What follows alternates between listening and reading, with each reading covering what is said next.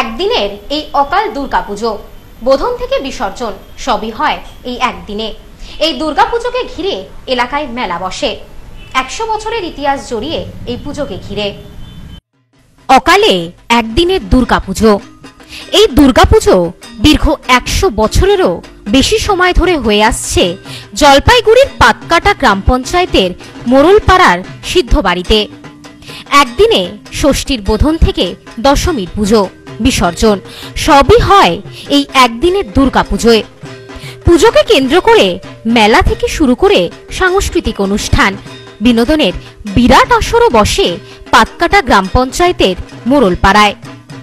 জলপাইগুড়ির পাতকাটা গ্রাম পঞ্চায়েতের মোড়লপাড়ার সিদ্ধবাড়ি। স্বাধীনতার অনেক আগে স্বপ্নাদেশে তৎকালীন জমিদার বলে পরিচিত সিদ্ধনাথ রায় সূচনা করেন এই অকাল দুর্গাপুজোর।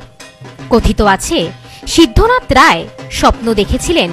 আশ্বিনে দুর্গাপুজোর পর দেবী দুর্গা যখন তার পরিবারকে নিয়ে বাপের বাড়ি থেকে কৈলাসের উদ্দেশ্যে যাত্রা করেন, সেই যাত্রাকালে দেবী দুর্গা তার পরিবারকে নিয়ে জলপাইগুড়ির এই পাতকাটা গ্রামে বিশ্রাম নেন এবং রাত্রিবাস করেন।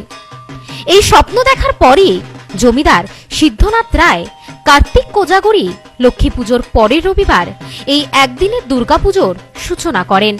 সিদ্ধ বাড়ির বর্তমান পুরোহিত গৌতম ঘোষাল, যিনি বিগত বারো বছর ধরে সিদ্ধ বাড়ির দুর্গাপুজো করে আসছেন। তিনি জানান, একশো বছরেরও বেশি পুরনো এই দুর্গাপুজো। এই পুজোয় একদিনেই ষষ্ঠী, সপ্তমী, অষ্টমী পুজো হবে। তারপর সন্ধি পুজোর পর নবমী ও দশমী পুজো হবে। আশ্বিনের দুর্গাপুজোর, ষষ্ঠী থেকে দশমী পুজোর যাবতীয় নিয়ম রীতি সমস্তটাই এই একদিনের দুর্গাপুজোয় পালন করা হয়। লক্ষ্মী পূজার পরের দিন আমাদের এইখানে পুজোতে দুর্গা পূজা হয়। একদিনই দুর্গা পূজা এই দুর্গা পূজাটা যে হবে, সেই দুর্গা পূজাটা হচ্ছে ষষ্ঠী, সপ্তমী, অষ্টমী, তারপরে অষ্টমীর পরে সেটা হচ্ছে সন্ধি পূজা হবে। সন্ধি পূজার পরে তারপরে এখানে হবে হচ্ছে নবমী পূজা, দশমী পূজা, দশমী করে এখানে শেষ। পূজার সমস্ত কিছু আয়োজন সবকিছু যোগার সন্ত সব হয়ে গেছে। হয়ে যাওয়ার পর আমরা এখন এই যে পূজাটা ঠিক বারো একটার দিকে পুজোটা শুরু করা হয়। একটার থেকে চারটা পর্যন্ত পূজাটা চলে। চারটা সাড়ে চারটা। এটা প্রতি তিথি না না? লক্ষ্মী পূজার পরের দিন। প্রতি বছর লক্ষ্মী পূজা পরের দিনই পুজো হ্যাঁ, পরের রবিবার পড়বে সেই রবিবার। সিদ্ধবাড়ির সদস্য পুজো উদ্যোক্তা ভূপতি রায় বলেন একদিনের দুর্গাপুজোয় সিদ্ধবাড়ির পরিবার ও গ্রামের সকলে একজোট হয়ে পুজোয় সামিল হন। সিদ্ধবাড়ির পুজো বলা হলেও এখন তা সর্বজনীন পুজো হয়ে উঠেছে। পুজো উপলক্ষে মেলাও বসে এখানে। শুরু হয় সাংস্কৃতিক অনুষ্ঠান। তিনি জানান, শুরুতে মেলা হতো এক মাস ব্যাপী পুতুল নাচ, সার্কাস, নাগরদোলনা সবকিছুরই আয়োজন থাকতো। তারপর সময়সীমা হয় পনেরো দিনের। তারপর হয় সাত দিনের। এইভাবে সময় ও অর্থের টানে মেলার সময় এসে দাঁড়িয়েছে একদিনে। আমার ঠাকুর দাদার নামে এটা হচ্ছে সিদ্ধিনাথের দুর্গাপুজো মেলা।